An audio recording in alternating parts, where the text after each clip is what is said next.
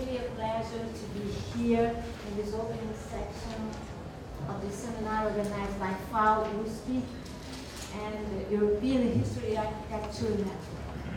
But at the same time, I also want to explain a little about my worries here. I think you know how difficult it is to say no to young Migliaccio, even if he's not here at the moment. But I must say that start, that I'm not a specialist in those fields. I'm not an architect, as Nancy explained to all of you, and also I'm not exactly an art historian. So I hope I will not disappoint you introducing myself in this way. I'm a social historian and anthropologist, very much concerned with the uses of the images and iconology in general. I'm also accustomed to work with the idea that images are not products, but they produce realities, values, and customs. I know that that's a kind of common sense nowadays, and mainly here. But in my uh, area, history and anthropology, that is not very much true. Historians are accustomed to be very serious about reading documents, but not always when they deal with images. In a lot of books, important books and essays, images can appear as passive, like passive reference of the context. That is why they are frequently considered like illustrations, and I'm using the word illustrations in the more traditional way, in the sense that they do not challenge the interpretations or even the context. I, my intention here is to take a completely different perspective. I'm going to use photographies as depictions, as social representations of, country, of this country. Uh, I could say the same about architecture. And the books I've read, or in the, book, the story, the book, history books, architecture can just appear as an example, a way to describe a previous situation. The idea main goal is to uh, contrast here the intentions, formal intentions of the photographer with the receptions of the images, or even try to analyze some details, traces, signs presented in the documents when characters depicted in the photo do not correspond exactly to the formal intention of the photographer. Images can build realities, but also can challenge reality and societies. Uh, so images are not just illustrations, as I said, of an evolutive process of modernization, but itself pieces of the picture. I'm talking about the social constructions of public space, private spheres, the construction of, constructions of social spaces, also the constructions of history, the constructions of memories, and the constructions of architecture as a way to tell a story, to tell a specific story. Uh, but also, I want to talk about agency. I think about here, but in my university, in my department, uh, anthropology, we are neighbors. Agency is a word very important, meaning that people can manipulate, can negotiate with very difficult situations. So I'm going to give you two examples. The can, yeah, you don't have to see me, it's better if you see me. Yeah, can. So I want to start just showing you two, two, giving you two examples, two important examples. Uh, I, well-known photograph here uh, was taken by Militão Augusto de Azevedo, a Paulista photographer. Uh, we don't know the names of the people in this photograph, but I wanted, wanted to show you just one thing. You have here uh, an office, an atelier, as you know. It's a piece of architecture. You can see on the back how you have the trees, you have the palm trees, showing what? That the architecture here is a way to talk about the tropics the tropics, the, the, the people that live in the tropics. Here you have the master in front. You can see that, that this is the master in front because he's white. He and also because he's wearing shoes.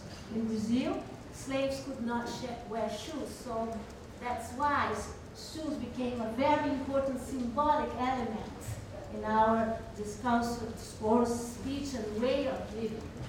But the thing I want you to note, just to start, just to warm up, is why you have this, the, the master, very serious, very concentrated, very focused in his role in this picture. And then you have the slaves, each of them showing a different reaction. One of them acted as he had to act, is this one with a kind of black suit. The other one is really angry with the situation. The other one uh, moved, so his image is like trembling. The other one is like melancholic, you could say. So my idea is how we think about this kind of image. I do not have time to say. I could stay here talking and talking about this. That's not my idea. Just, as I said, to warm up, to think about photography as depictions, as, as like building mo moments. Here you have two very important situations when you think about this kind of slave society that I'm going to talk a lot uh, in Brazil, slavery was so natural. I think you know that Brazil was the last country to abolish slavery in the Occident. We abolished slavery uh, just in 1888 after Cuba and the United States. And uh, here you have two different and uh, two equal situations. Usually, slavery was so natural that uh, people would uh, sell a slave, rent a slave, put, the mega insurance of a slave, this would have a kind of convention. The uses of we call cadeirinhas. So you have a kind of, we could say a, a big chair, and you have two slaves that carry a master uh, inside this, this, this car. In this side, in the right side, you have Hensel, a photographer from Pernambuco, that took uh, master in the streets. In this side, you have like a very artificial situation, trying to show it's not artificial, but it's a very artificial. You can see that it's an inside situation, and this one is an outside situation. In this situation, you have like all, all of them, the three of them, the four of them, as, a, as the convention wanted them to act. But in this situation, it's completely different. I remember when I saw this photograph in the exhibition we opened in Sao Paulo, that it's now open in Rio, that this is a very little photo. It's like it's a, a woman. It's not. It's like very little, very delicate. But this person acted with me like a ghost. I couldn't stop seeing this image. Not because of the lady in the center of the photograph. That she's very nice. She's a, a nice. She's a beauty. But look the slave on the right side. He really didn't want to act as they wanted him to act. you see how the pose, the body language, how he refuses to act as uh, they wanted them, they wanted him to act. So this is a kind of thing that I would like to talk with you today.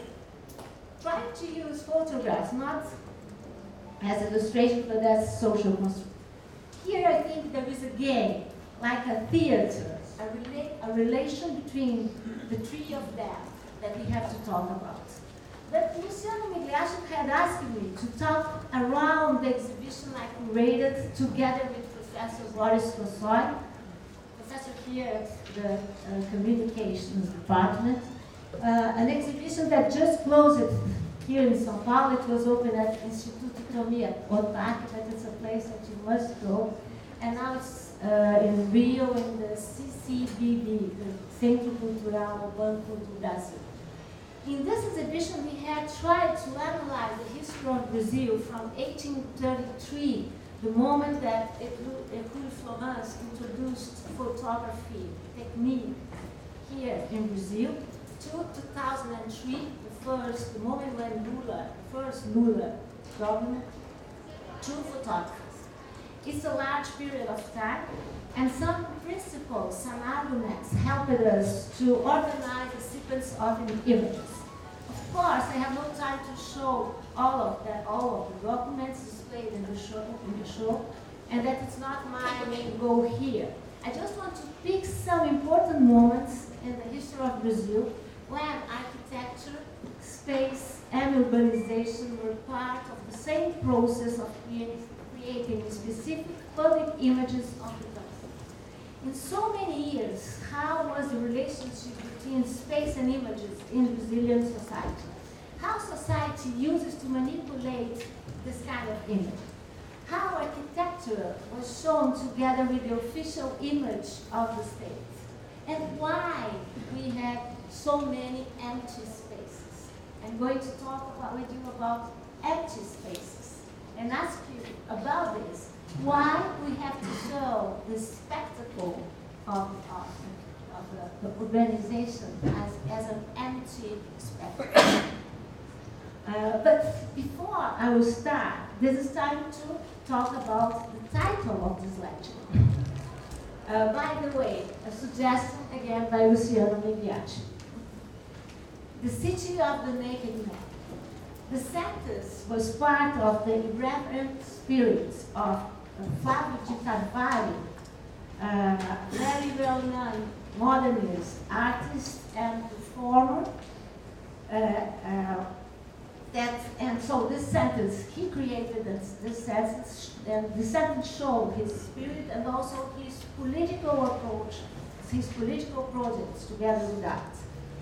The title is based on a masterpiece for a new city to be built in the tropics, which Carvalho created in the 30s. That is to say, 30 years before the official inauguration of Brasília.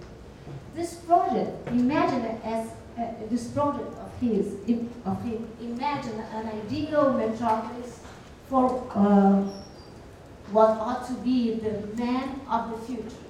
A man without God, without property, without marriage. A new mankind that had stripped itself from its cultural constructs. Or, in, the Car in Carvalho words, without scholastic taboos, free for reasoning or, or, or thinking. The transgressive, erotic dimension of this project gives us one idea of the potential of this country, Brazil, always depicted by its beautiful, immense, huge nature, and on the other side, his very suspicious nature. So I want to start talking about these two, two sides of our official depiction. The very sunny side of the nature, one side, and the other side, the shadow of the population with very difficult customs. Let me start talking about nature. Since the beginning, uh, photography in Brazil, nature was a central argument, a central image to describe the country.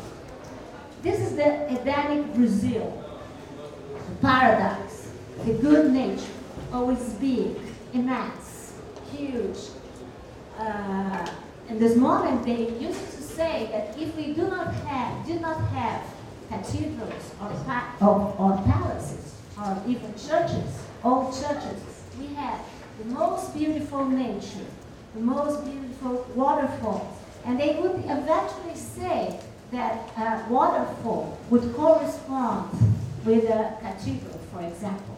So my point here is that architecture was in this moment had the same place of nature.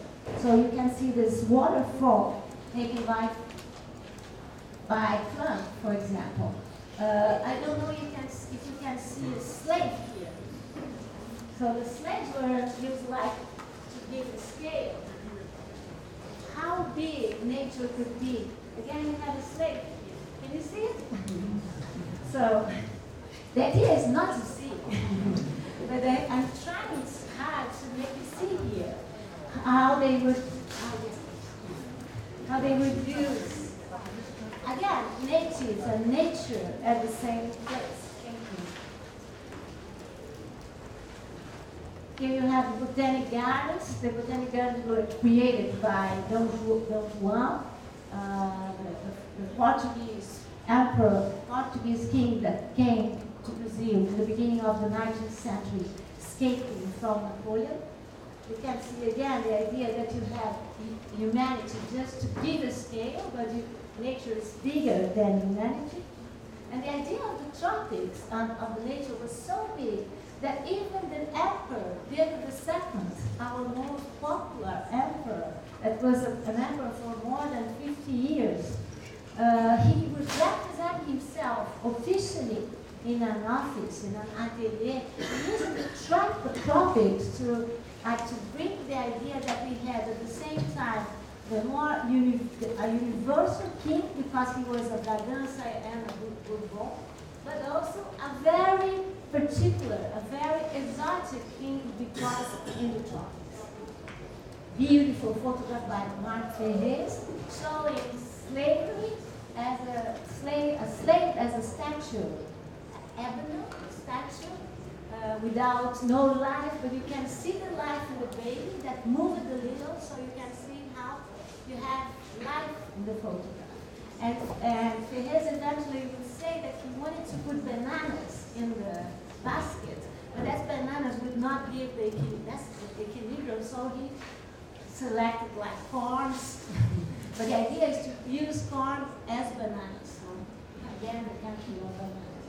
The other side, the indigenous people, native people.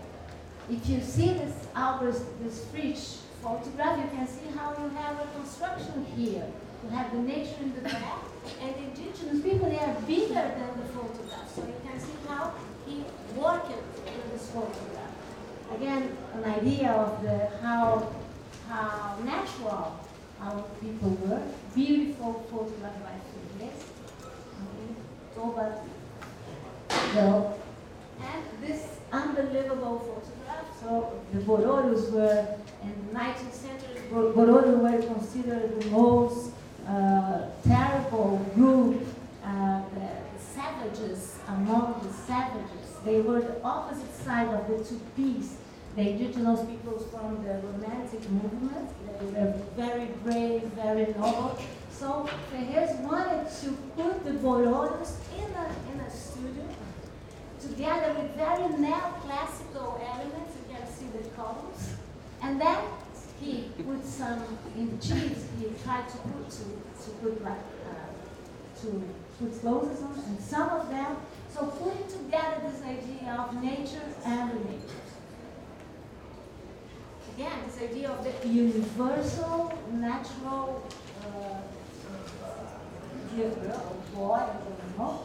He, tried, he said, I'm going to put it like a tiger. You do, not, you do not have tigers, but he wanted a tiger here in the tropics to give this idea of our. And this unbelievable uh, photograph of the Cacique Piatra, you know, uh, having on the back this very African like putting together America and Africa uh, with this kind of depiction that here you have like the savages living among us.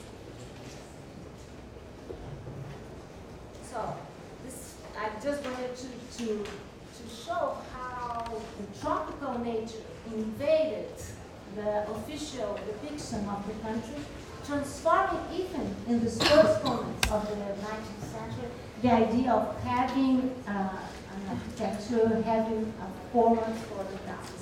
But the other side, I said that I would, I would start talking about the talking about the light and the shadow. The other side of the inside side of the photographs were slave institution. Uh, Brazil was one of the first countries to have photographers that would come to Brazil to depict this country that was, was considered like a laboratory of the races, because we had all the races together. That was the formal image of the country in the 19th century. And also Brazil was the last one to abolish. So this gave us a very perverse situation. I'm working in the States and I know, and I, know that some of you must know and can help me here, that Brazil has the most, the biggest archive of photographies on slavery and the most different situations. We are not very proud about it, but the thing is, we have really have thousands of images of slaves. I selected some of them in a very difficult task here. uh, just to show you the variations, the diversity of situations. This is a postcard. No, actually is a carte de visite uh, offered to foreigners to go out of the country. So you can see how Hensel tried to recreate in his own atelier the idea of the tropics putting a big umbrella. Umbrellas always represent the, the sun of Brazil, the warm of Brazil, how you have to protect yourself against the sun. The idea of the fruits, the baskets, always the, always the palm trees on the back. Another very artificial situation. This is a pano da costa. It's a, it's a, a slave coming from Guinea. Again, post, again, de visite, and showing this very sexualized, erotic image of the slaves in Brazil. Here's a, is a group of images created by Cristiano Junior. Uh, Cristiano Junior would advertise those images in the newspapers of São Paulo, saying things like this. Uh, a series of photographies of things that you can find in Brazil. Good thing to have with you when you leave the country go, and go to the to other places. So you have, so he shows slaves in very different situations. Always a very the images of the slaves. Again, club with this beautiful image of uh, slave. And this we have like uh, I would say I would say a thousand of images of nannies. I have here just three uh, to show this very ambivalent, very complex uh, situation that we really have. If you look to the left side, you can see a beautiful photograph by João Ferreira Vilela, and you can see how tense, at the same time you have a nice relationship among them here. You can see the way the slaves looks to the person, probably the masters are here, You can see the way he, she acts. And you can see also how the boy is close to her. Probably because the photographer didn't want him to move because he, will, he would spoil But also because they really had a relationship. So those were the, I would say, the contradictions, the limits of this idea of uh, relationship among a nanny and a, his son, his daughter. Agassiz, Augusto Stahl worked for Agassiz, a Swiss scientist based in the United States in Harvard. Harvard has a big collection this. Uh, this it's really a series. Agassiz uh, hired Stahl to take these images. those are the scientific images. They are using phrenology to show how you can prove in the body and in the brains the, the superiority or the inferiority of the population. This, uh, here you have an outside image, but it's like an inside image because Leuzinger, he created everything. He put everything in the best place, in the best moment. So you have the nanny there with the son, you have the slaves uh, playing here, or the slaves working there, and the Casa Grande, the big house. We're going to see other images of the big house, but this is one that's very, uh, it's very interesting. It's another image of Gilberto Freyre. It's not a beautiful big house. Owner house is like a decadent one that we have to talk about this. Again, this image of a very relaxed slavery, how we had that was really a very a propaganda of the state that we had a nice, a nice slave system against the slave system in the States and in other. You cannot have a nice slave system if you think about how you, you can have another person, so that how you can create this. But I, I want to start, really, I want really want to start because I'm really proud.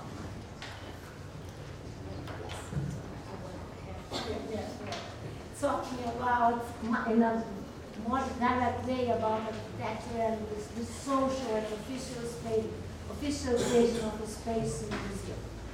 In Latin America and mainly Brazil, the history of the cities and the history of urbanization were considered the main products of modernity in the West, a product of this machine that created and that generated modernity, a way to produce a social, political, and cultural modernity. But let us now think about those naked tropics put together the title the idea of this lecture. Um, I want to focus now in some particular moments, three moments, where architecture and urbanism have an important role in the creation of the same public, the public image of the state. I'm talking here from an anthropological and sociological point of view, thinking about the social and cultural creation of spaces, symbolic space, official depictions of the. Uh,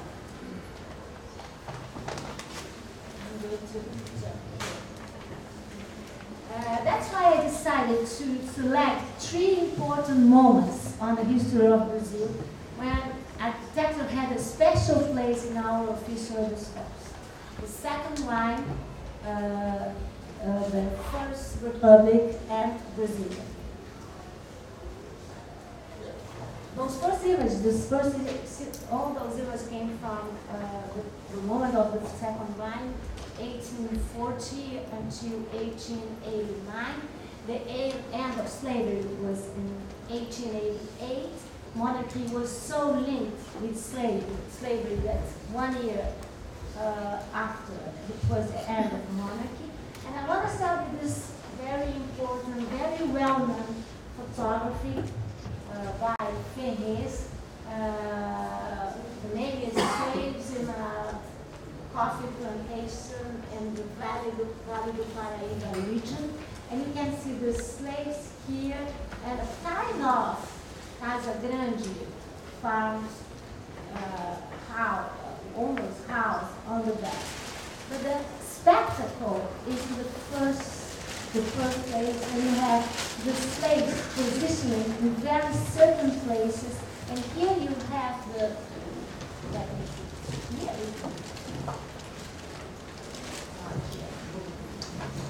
uh, and here you have the fake door, probably a black, a former slave pointing to the future. this is not the idea of Casa Grande Senzala, but it's again the, one of the ideas of Casa Grande Senzala, the idea of order, the idea of hierarchy that I want to talk a lot here. I want to show you just some images of this moment.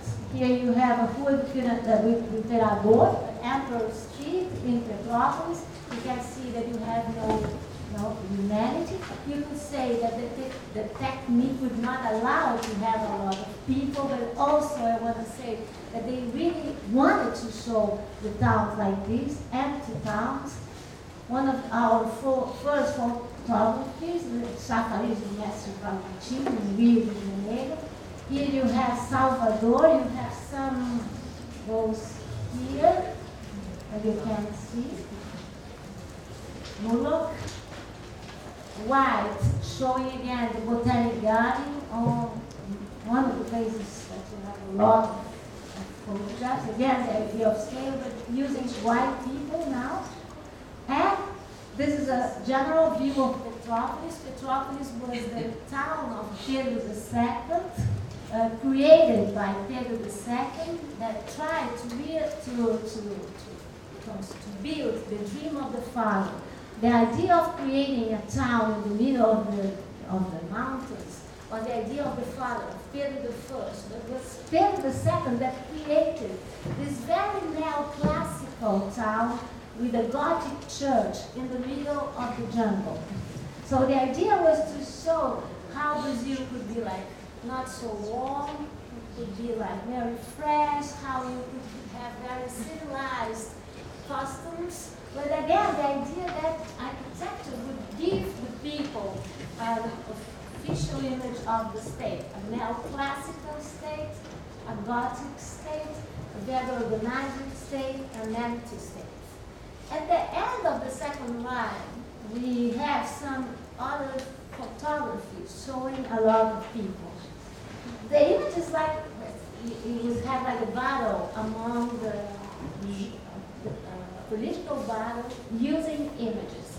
So here you have uh, a document showing the end of the Paraguay War and it ended in the 70s.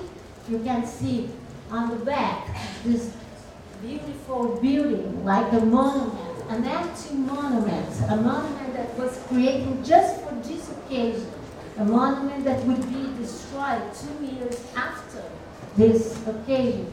And the product, a new idea of the cloud. Here you have a very important document uh, by the most popular, one of the most popular moments of the monarchy a very paradoxical moment because we I'm talking about the moment of the Golden Law, the moment when we had the abolition of the slavery in Brazil. So I want you to contrast contrast this image, for example, this image. So this is considered the last image of the monarch. We have two. One uh, one, this is one, and the other one is the same one, but they are wearing hats. So I forgot to put it because it's very funny and very ideological in a sense. So can you imagine that this is the last image of the monarch? Dom Pedro II is here, Isabel is here, this will have Dom Pedro, this will have Teresa Cristina, the wife, and this is like at, at that moment, Dom Pedro II, he knew that he was not any longer a king. He was going to leave to, to Rio de Janeiro. He thought he would, the history would not be like this, he would continue like a king. You can see how is this image, how empty, the stars, the stairs, sorry, the idea that you have a power, that you have a power that knows very well how to how to act in this situation. But uh, history would be different. I have no time to talk about this, but the idea is to show now how we, that was the moment of our first republic, that it's a moment that we are studying a lot, we historians, we are studying a lot now, because this moment that uh, uh, the beginning is in 1889 and goes until 1930 uh, was called for a long time like the Old Republic. Now we know that the, this name, this title, Old Republic, was created by Getúlio Vargas, this very populist president that wanted to show that his government was the new one. So that the, the one that came before was the old one. Also, he wanted to show that he was the one that would give us modernity, modernization, urbanization, that new laws, new citizen, new process of citizenship. And now we know that the First Republic was a very important moment, a moment of inclusion and exclusion.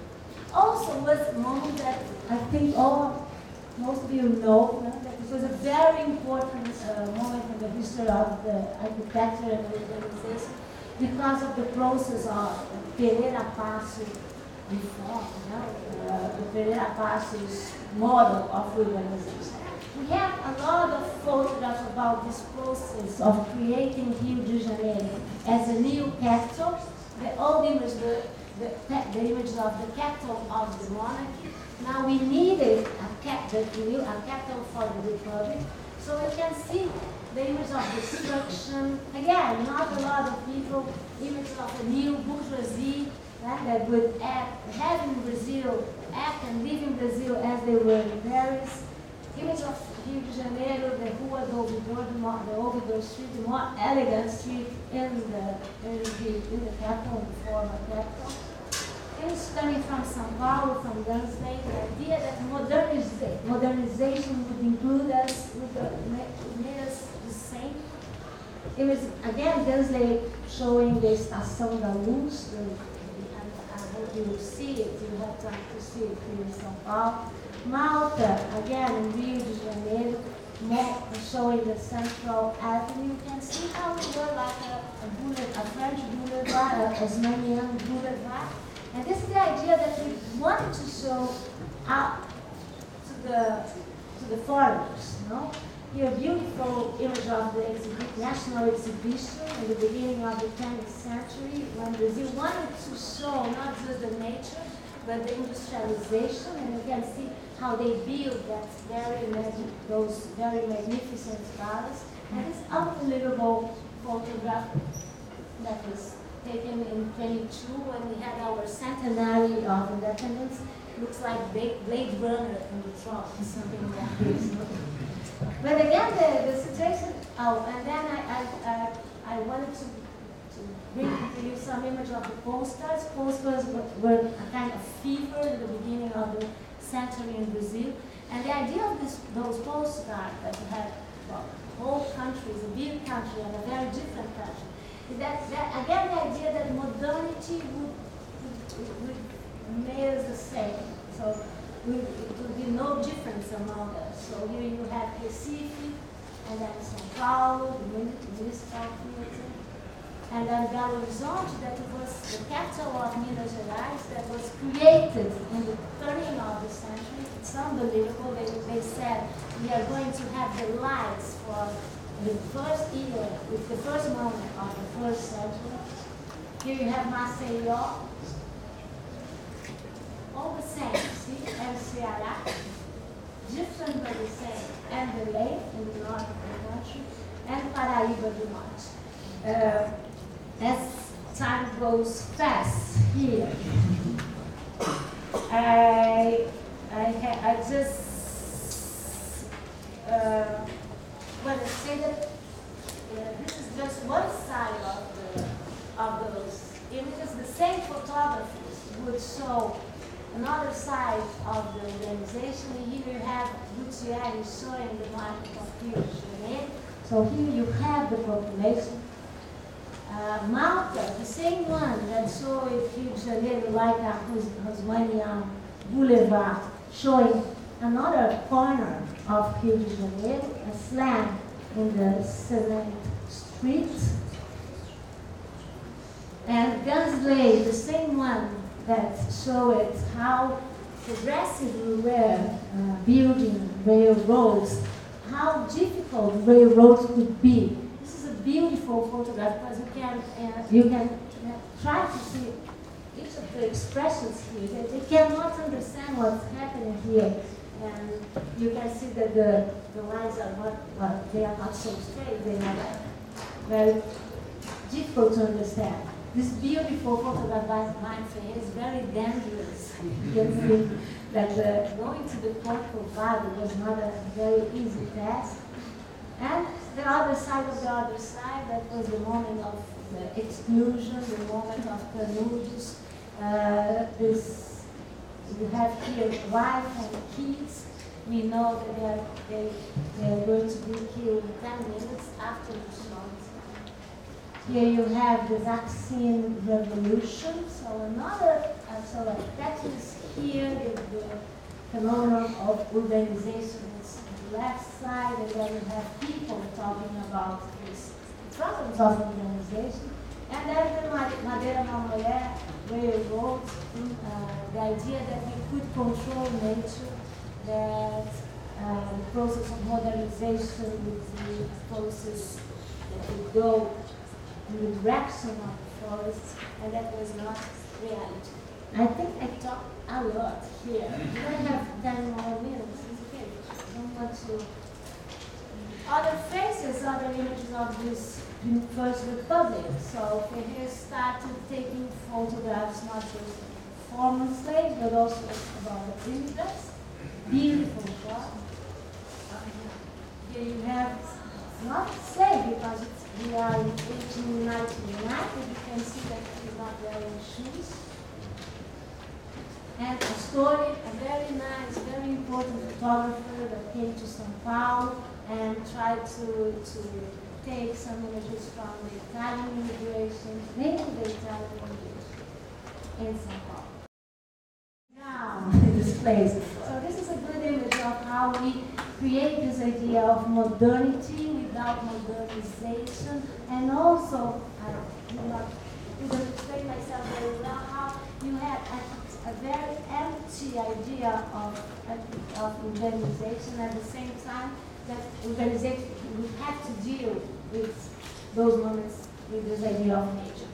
Botero, he, uh, he called this photograph like the static of misery, and Jonathan Neves that uh, wanted to uh, deal with this image. but it's a Vapati, well, together with. Those were some of the contradictions of this moment, the idea that you have this big contrast. That, that was the idea of the exhibition also, how Brazil was, is a place of contrast, how Brazil is a place that you have everything together, you know, and how we can deal with this idea of putting everything together. I'm not going to uh, teach you, teach the priests how to talk about the, I'm not, I'm not foolish here. So Luciana said to me, yes, you have to do it. I'm not going to do it. I'm just going to finish showing some images about Brasília. That you know very well that Brasília was like created to be the capital of Brazil, the capital in the middle of nowhere in the 60s an icon of the modernization, the idea that we could break with the, desert, that we could create, definitely create a rational space without people, maybe without people, better without people, in the middle of the, not now, but at that moment.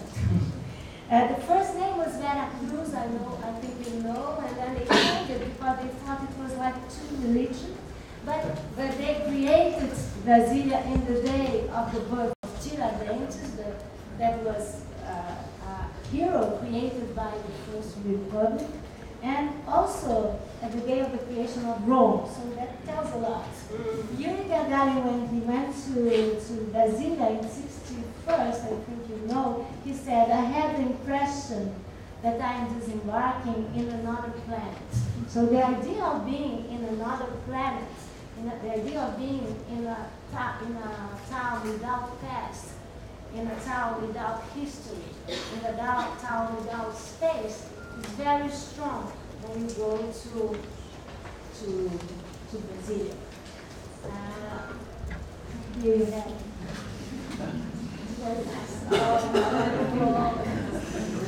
Jean Manzon. I'm, just going to talk about Jean Manzon, all the rest you know.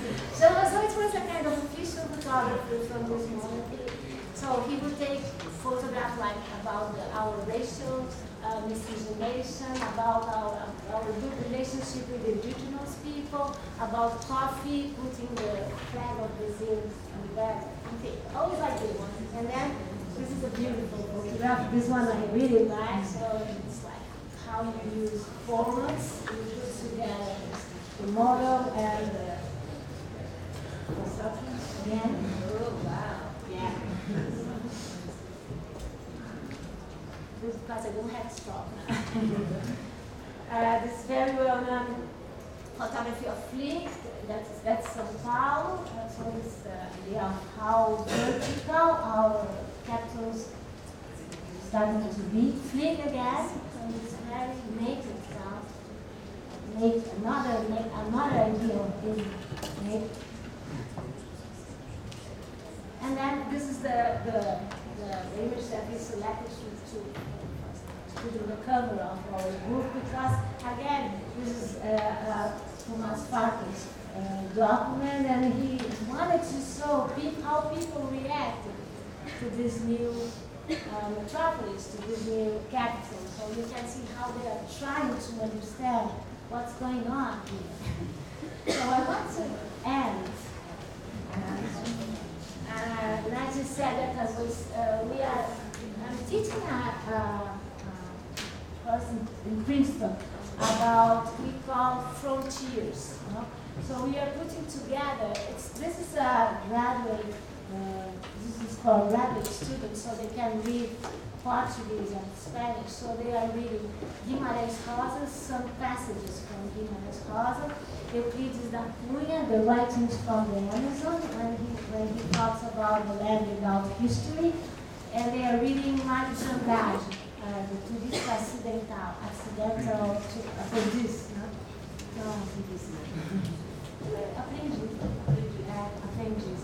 Uh, and then the idea is to talk about those, this kind of contracts, this, how we can deal with this idea of having the jungle and having urbanization, having these huge, immense mountains now taken by this kind of houses, this kind of land. And I was reading uh, Claude Lévi-Strauss for the third time, Triste Tropique, when I was trying to finish this lecture. Uh, as, as you saw, it's not, a, it's not a lecture, it's a kind of panorama. it's a kind of trying to warm up you. So uh, I was reading Lévi-Strauss in Triste Tropique when he said that the city in the New World goes from the youth to the decadence without uh, knowing the advances months, the advances moments. Uh, also, he says that American cities, American cities can never stay old. He tells a story, and I, I know how Levi-Strauss can be very melancholic, how he can be very, he has a terrible temper, but he tells a story of a student of him that came back from Paris saying that he found Paris very odd because it was very dirty. So he said, American towns, must be very clean, and they must be very new. That's why they must be, he says, very empty, without people, because people destroy the spectacle, people would destroy the scenario, and people would destroy the theater.